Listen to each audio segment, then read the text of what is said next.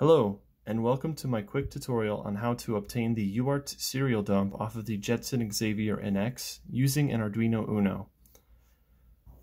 If your board ever enters recovery mode, the first thing you'll need to do is obtain the UART serial dump in order to get information off of the board.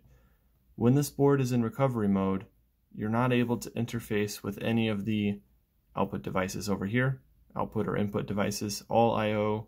is not working the only way to get information off the board is by connecting to the RX and TX pins on, uh, on the reverse side over here.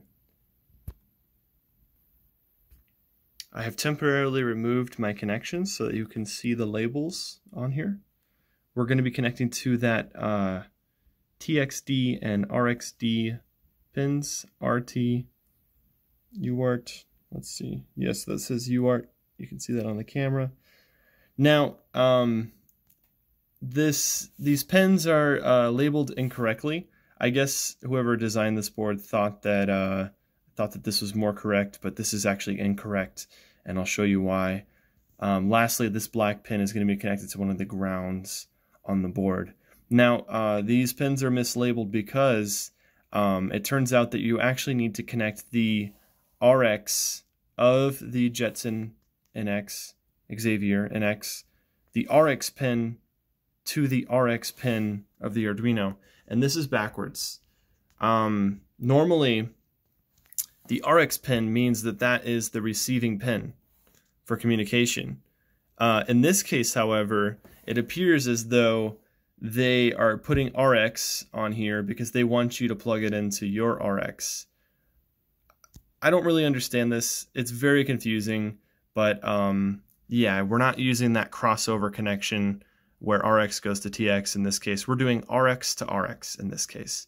Um, I also have never seen RXD before, so um, perhaps this is why it's configured this way. But um, yeah, just keep in mind you're going to be connecting that RX pin to the RX pin of the Arduino. Get that in focus and connect the TX pin to the TX pin of the Arduino. So let me pause the video. Oh, before I do, lastly, connect the ground of the Arduino, either one works, to the ground of the Xavier. Okay, let me pause the video and plug these wires back in. I am also going to unplug the power from the board.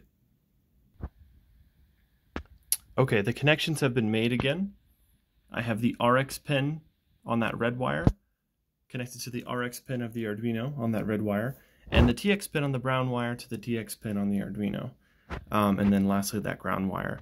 Um, just a quick note before I continue. Uh, should you be using a different board or should you be doing anything else uh, using the Arduino for UART, um, this will still work. Um, but if it doesn't work, just switch around the switch around the RX and TX pins. So you know, uh, swap them and then try again. And uh, yeah, just doing that switch around and seeing if it works that way um, will be a, a, quick way to do this. This is why I think that you should uh, stay consistent on uh, using the RX and TX because it's like, well, there's only two ways it can be configured and you're to have to check them both now that the labels are not correct. But anyways, nonetheless, um, once you have done this, plug in your Arduino using the provided USB cable to your computer open the Arduino program. Um, I have here just a blank program. I put this dummy variable in. I don't think it's necessary. Um, upload this to the board. And then now that it's uploaded, the program is now running. It's a blank program though, so it's just doing no operation. Here's the serial monitor. Now by default, it's going to open up using 9600 baud rate. What you need to do is change that to 115200 baud rate. That is the baud rate of the Xavier NX specifically. Now that everything is configured, go ahead and plug in the power. And I will do so now. And you can see we are getting the UART serial dump as the board is booting into Ubuntu. Sorry, Jetpack. This is booting into Jetpack.